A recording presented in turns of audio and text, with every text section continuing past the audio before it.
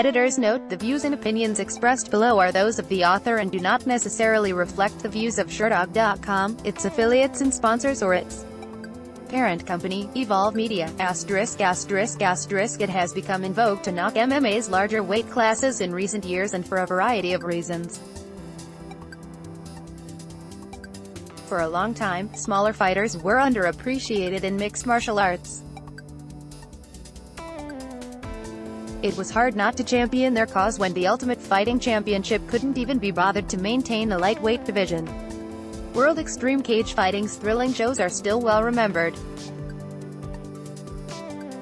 As the volume of shows has whittled away the more casual base of MMA fans, the remaining avid observers are quick to extol the virtues of smaller, quicker fighters with greater stamina. Bigger fighters, by contrast, are often easier to hate on. When a heavyweight fight goes the full 15 minutes or 25 minutes, the combatants are much more likely to become visibly fatigued because of the extra weight they are carrying. Regardless of which divisions tend to produce the most exciting fights on balance, it's hard to dispute that the very worst UFC fights over the years have disproportionately come from the heavyweight division. While the larger weight classes may not always have the most passionate cheerleaders, they retain a definite potency. That was evident again on Saturday at UFC on ESPN3. As major MMA organizations have broadened their focus to a wider array of weight classes, heavyweights and light heavyweights take up a smaller percentage of cards.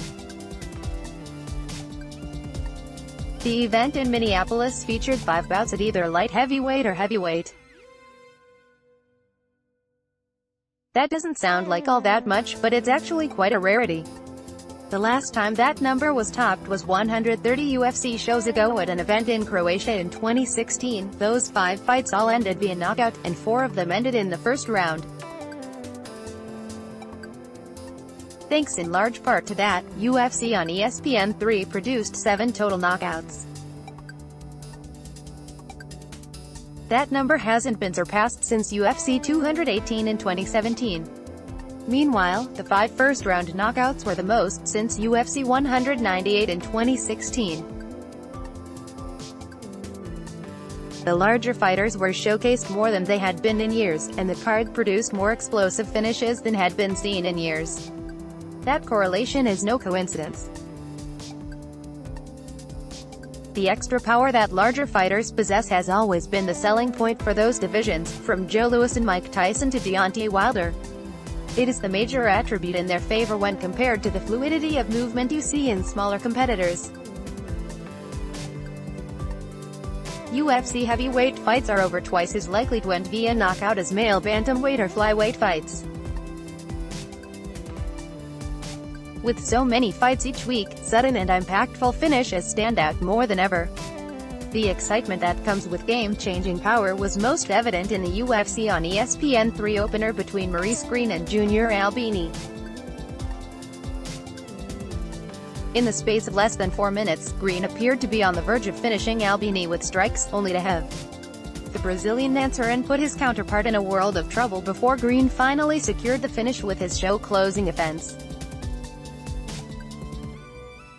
It was the perfect example of how there can be drama in every moment when each punch and kick has the ability to end the fight. Francis Ngannou's quick stoppage of Junior Dos Santos provided the biggest headline, but Greene Albini epitomized the unpredictability that comes when large men trade blows.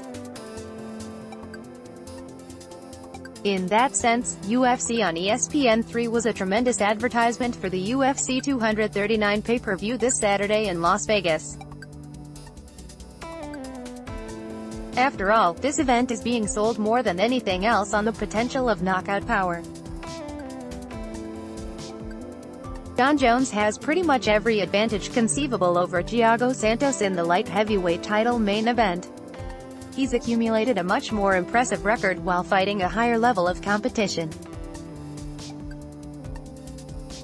He has a massive reach advantage and a clear grappling edge. He's even younger than Santos despite having fought in the UFC five years longer. Given all of these advantages possessed by Jones, the big selling point for fans who think Santos might make history and pull off the upset is the Brazilian's remarkable power. With 11 knockouts and 13 UFC wins, Santos is one of the promotion's most prolific finishers. That sort of power leaves little room for error in MMA, even among the best defensive fighters. It's much harder to prevent all significant offense from getting through in MMA with so many more legal techniques and small gloves that don't provide much of a defensive shell. That's a problem when a fighter is matched with someone as dangerous as Santos. UFC on ESPN3 showed how quickly small errors can end fights with big, powerful combatants.